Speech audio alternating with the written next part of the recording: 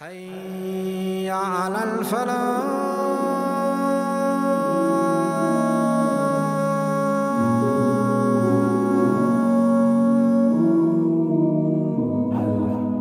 Today, with Allah subhanahu wa ta'ala's mercy, we have Surah Jinn. It is a surah that has been revealed uh, regarding our brothers and sisters from the jinn and about their world and their experiences. And Allah subhanahu wa ta'ala tells us about them in great detail in this surah, tells us about what was going through their minds, what happened to them, what sort of life they lead, what are the challenges that they face, what are the misconceptions that they held. And then thereafter Allah subhanahu wa ta'ala tells the Prophet sallallahu alaihi wasallam to direct them and guide them towards a particular path of worshipping Allah subhanahu wa ta'ala and of obeying the sunnah of Muhammad sallallahu alaihi wasallam. And if they do not do so, then it may be that Allah subhanahu wa ta'ala will not respond to them in the best of ways and that they might become the people of the, of the fire. This surah was revealed at a very, very special time. The Prophet was very distressed after the death of his wife and after the death of Abu Talib, which all happened in the same year, Amul Huzn, right? It's the year of distress for the Prophet. So what did Rasulullah do? He thought that perhaps if Quraysh is not going to listen to me, then people around Quraysh, around Makkah will listen to me. So where did he go? He went off to Ta'if, thinking that perhaps the people of Ta'if would uh, respond favorably to his message. However, he stayed there for three days and three nights. But what did the people do? They pelted him with stones. They swore at him. They had their children take out all the dirt in their homes and they pelted Muhammad ﷺ until the Prophet ﷺ was chased out of Ta'if with his feet bleeding. And then what happened? The Prophet ﷺ went a little bit outside of Ta'if and came down to a tree, a date palm tree, where he rested.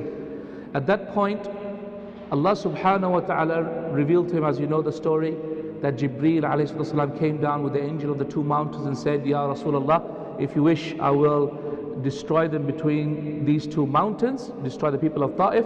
And the Prophet ﷺ made the dua, no, rather, I wish that a people will come from them who will worship Allah subhanahu wa ta'ala afterwards. But what is amazing is what happened whilst the Prophet ﷺ was sitting under the tree. What happened was two things happened. Number one was a Christian slave that belonged to two of the non-Muslims, who was a Christian slave, came to Muhammad. Uh, he tended to the wounds of Muhammad his wounds that he had on his legs and on his body. And at that point, Allah subhanahu wa ta'ala made this Christian man accept Islam. The second thing is, nightfall came. When the sun came down and the nightfall came, then all the jinn that were around that valley all came to Muhammad sallallahu alaihi wasallam. And the Prophet recited Iqra bismi rabbika alladhi khalaq to them. The surah which he recited was Surah Alaq. And this is the incident that happened. قل أوحي إليها إلي أنه استمع نفر من الجن فقالوا إنا سمعنا قرآنا عجبا. So يا إخوتي, the jinn are a creation that Allah subhanahu wa ta'ala has created along with Muslimin. Jinn were created even before insan was created. How do we know this? Well, because when Adam was created, alayhi salatu then he was asked to all the people to prostrate and then of course Iblis decided not to prostrate. He was from the jinn and he disbelieved in the command of his Lord. So we know that therefore a large number of jinn are actually kuffar.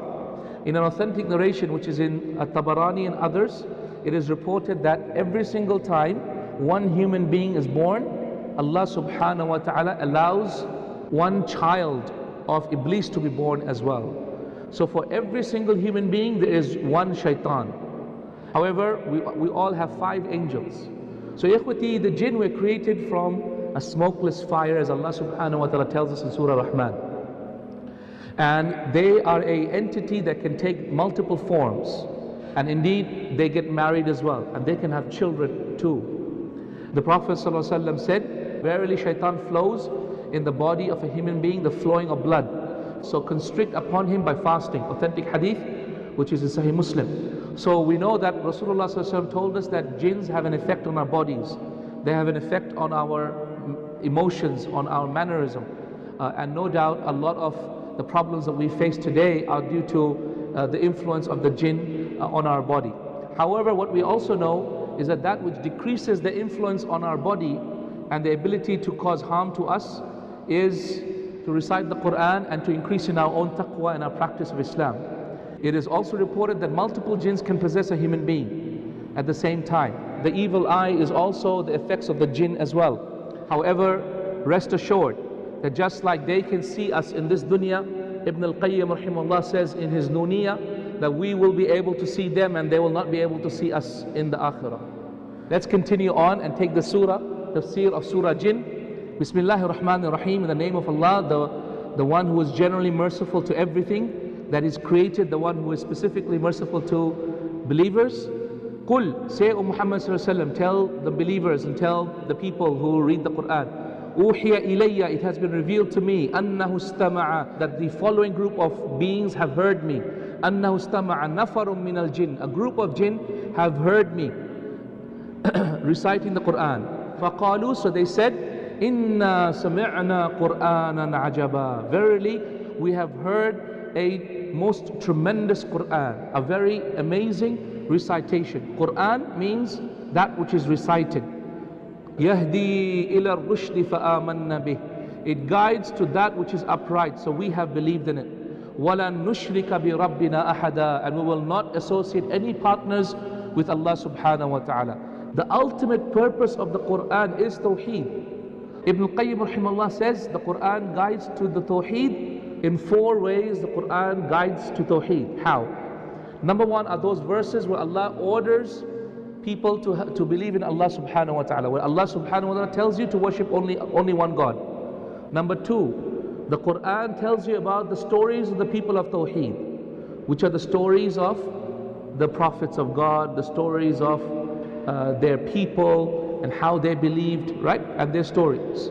Number three, it tells you about the stories of those people who disbelieved in, in Tawheed of Allah subhanahu wa ta'ala. And number four, is all those rules and regulations where Allah subhanahu wa ta'ala tells you to do certain obli obligatory things, which is to do with branches of Tawheed. وَأَنَّهُ تَعَالَى جَدُّ رَبِّنَا And high above is Allah subhanahu wa ta'ala. مَتَّخَذَ صَاحِبَةً وَلَا وَلَدًا He did not take a partner nor has he ever taken a son. وَأَنَّهُ كَانَ يَقُولُ سَفِيهُنَا عَلَى اللَّهِ شَطَطًا Now we know that indeed the foolish people amongst us, the foolish jinn amongst us, used to say about him shatata, doubtful matters, ignorant sayings, wrong statements, that which is far removed from the truth. وَأَنَّا ظَنَنَّا أَن لَن تَقُولَ الْإِنسُ وَالْجِنُّ عَلَى اللَّهِ كَذِبًا We were naive. We thought that jinn and mankind will never ever lie about Allah. And this is the problem today. Realize this that the vast majority of those, if you were to ask them, they would not speak the truth about Allah. People around you do not want good for you. People around you do not want you to go to Jannah. وأنه كان رجال من الإنس يعوذون برجال من الجن فزادوهم رحقا وأنه كان there used to be رجال من الإنس some men from human beings يعوذون they used to seek refuge برجال من الجن with a group of the jinn فَزَادُوهُمْ رَحَقًا So they increased them in nothing but fear. The tafsir of this verse reports that Ibn Abbas radiallahu ta'ala anhu said that when the people of the Quraysh and the people of the Arabian Peninsula before Islam, when they used to go past a valley and when they came to a valley and they wanted to encamp there, so they used to say, I seek refuge in the Sayyid or the Lord of this valley from all his other men meaning all the other hidden jinns and spirits, etc. So the jinn start feeling really great, and so they used to zaduhum rahaqa. So they used to start whispering in their ears, and they used to cause eerie sounds in the middle of the night, in the depths of the valley, from which this, the men would be even more afraid. They used to seek refuge in not but Allah, but in the jinn. If you seek refuge in Allah, Allah increases you in peace. And if you seek refuge in anyone other than Allah, they only increase you in fear. وأنهم ظنوا كما ظننتم أن لن يبعث الله أحدا and they thought as we thought that indeed Allah will not send anyone at all so Yehuti, why are the jinn saying this? Why did they think that no one will be sent? Because all of the prophets of God were human beings. They were never jinns. So why did Allah subhanahu wa ta'ala choose every single prophet from human beings? And that is how Allah has blessed the children of Adam. وَأَنَّا لَمَسْنَا السَّمَاءَ فوجد فَوَجَدْنَاهَا مُلِئَتْ حَرَسًا شَدِيدًا وَشُهُبًا And just like our days of the past, or just like we used to do in the past, لَمَسْنَا السَّمَاءَ We went up to the sky, so we tried to seek out the knowledge of what is going to happen from the sky. Meaning, they went up to the heavens and they tried to listen to what the angels were whispering to each other about what is going to happen tomorrow and the qadr that is uh, Allah subhanahu wa ta'ala is going to decree. فَوَجَدْنَاهَا مُلِئَتْ حَرَسًا شَدِيدًا وَشُهُبًا So now we have found, meaning after the coming of Muhammad sallallahu alayhi wasallam, we have found that now it is muli'at harasan. It is full of haras. Haras means guards. So the sky is full of angels that are guardians guarding the heavens. So the, so the jinn are no longer able to go up and listen. And also they have they actually are throwing at the at the jinn, which are these balls of fire. And we used to take a place in order to hear, just like we used to do before, and then tell the soothsayers, فَمَن يَسْتَمِعِ الْآنَ يَجِدْ لَهُ شِهَابًا رَصَدًا So whoever tries to do that now, then indeed he will find shihab al-rasada. Before the time of Muhammad sallallahu the soothsayers had a lot of lies and truth mixed up. But after the time of Muhammad sallallahu no more. It's all lies. وَأَنَّا لَا نَدْرِي أَشَرٌ أُرِيدَ بِمَنْ فِي الْأَرْضِ أَمْ أَرَادَ بِهِمْ رَبُّهُمْ رَشَدًا Ibn Zayd, one of the scholars of Tafsir, said that this is a statement that was made by Iblis.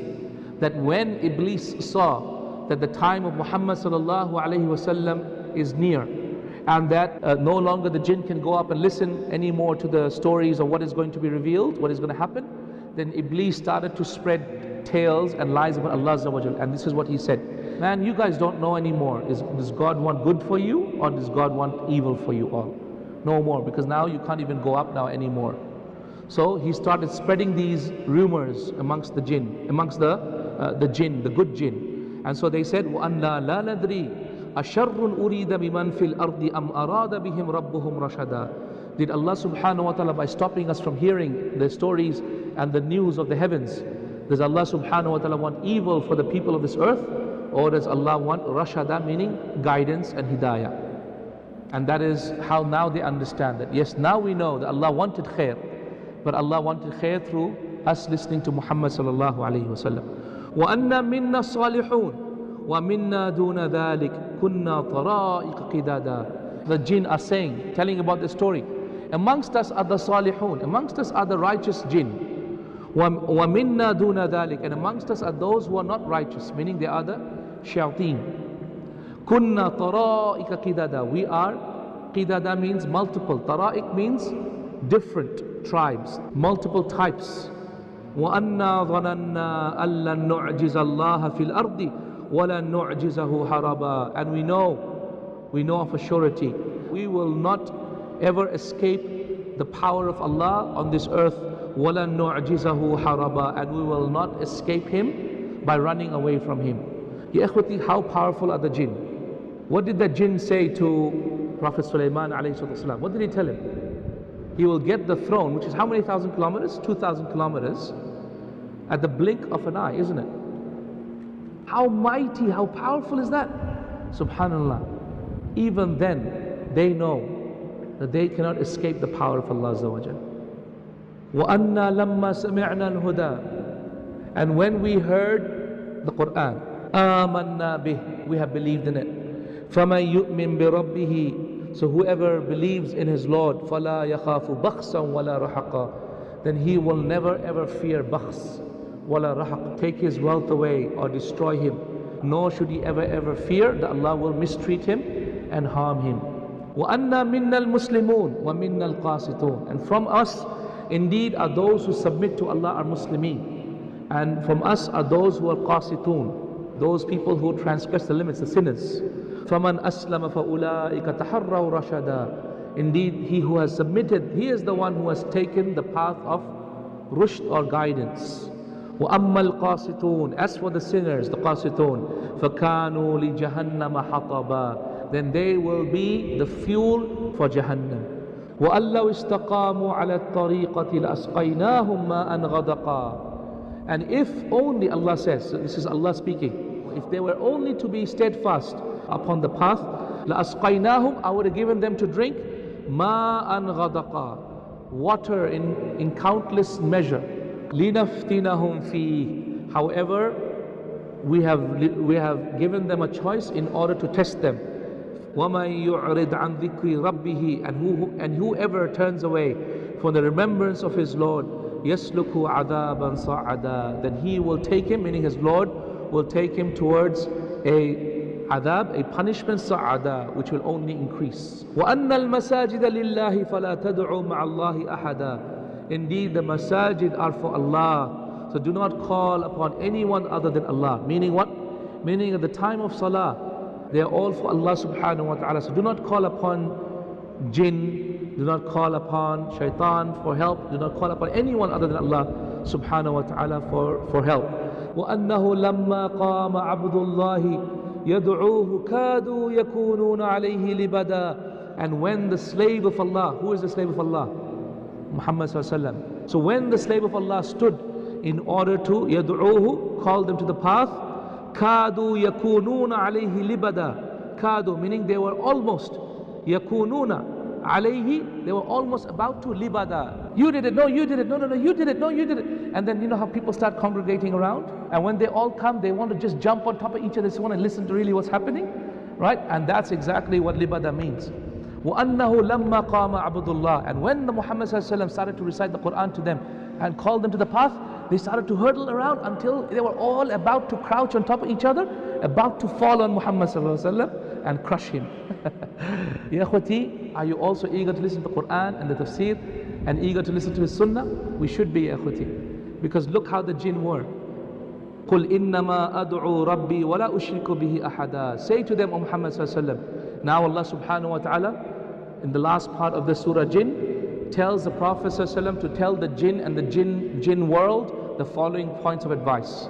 What is the points of advice? Number one, say O Muhammad to them that indeed innama ad'u rabbi I worship Allah I only call upon Allah wala ushriku bihi ahada and I do not associate anyone in partners with him قل إني لا أملك لكم ضرا ولا رشدا say Muhammad says to them I do not have any power or authority to cause you any good or any harm قل إني لن يجيرني من الله أحد ولن أجد من دونه ملتحدا say meaning no one can save me from Allah's punishment وَلَنْ أَجِدَ مِن دُونِهِ مُلْتَحَدًا Nor can I ever find a escape away from Allah subhanahu wa ta'ala. So if Muhammad sallallahu alayhi wasallam could not find a safety from Allah or from His punishment, what about us, ya akhwati? Meaning, except that my message, my responsibility is to only transmit to you the message from Allah. وَرِسَالَاتِهِ And His message, which is the Qur'an. وَمَنْ يَعْصِ اللَّهَ وَرَسُولَهُ Whoever disobeys Allah and His Messenger, فَإِنَّ لَهُ نَارَ جَهَنَّمْ For him is the fire of Jahannam. خَالِدِينَ فِيهَا أَبَدًا He will reside therein forever. حَتَّى إِذَا رَأَوْا مَا يُوعَدُونَ until they have seen what they, they, what they were promised. فَسَيَعْلَمُونَ مَنْ أَضْعَفُ نَاصِرًا وَأَقَلُّ عَدَدًا. Until when the people enter the Jahannam and they know that this is what they have been promised, they will know مَنْ أَضْعَفُ نَاصِرًا Who amongst us is the weakest in helpers? وَأَقَلُّ عَدَدًا. And least in army, in the number of army. قُلْ إِنْ أَدْرِي أَقَرِيبٌ مَا تُوعَدُونَ. Say, O Muhammad sallallahu alaihi wasallam, if you don't listen and you want to put off repentance and accepting Islam for another time, then know this.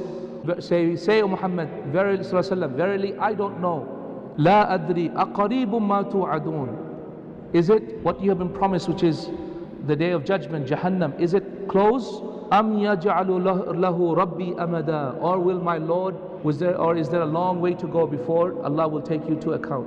You don't know. He is the knower of the unseen and he does not tell about the unseen world ahada to anyone. Illa man irtada min rasul except for a messenger that he wishes to tell him about the unseen world. Never from the jinn because jinn will never ever be an angel and jinn will never ever be from the messengers, correct?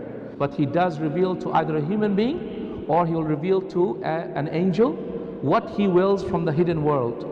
فَإِنَّهُ يَسْلُكُ مِن بَيْنِ يَدَيْهِ وَمِنْ خَلْفِهِ رَصَدًا So what he does is that he reveals to that human being something from the unseen world, but at the same time he puts مِن بَيْنِ يَدَيْهِ in front of him وَمِنْ خَلْفِهِ and behind him رَصَدًا meaning guards.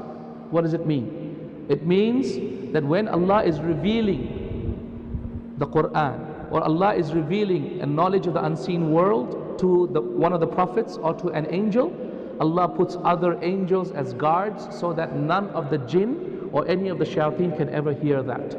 لِيَعْلَمَ أَن قَدْ أَبْلَغُوا رِسَالَاتِ رَبِّهِمْ So that everyone knows that this message has been delivered وَحَاطَ بِمَا لَدَيْهِمْ and that indeed Allah has Allah has indeed encompassed them with knowledge وَأَحْصَى كُلَّ شَيْءٍ عَدَدًا and He has taken every single to, to account point by point, piece by piece, person by person. He knows every single thing in that detail. جزاكم الله خير يا أخوتي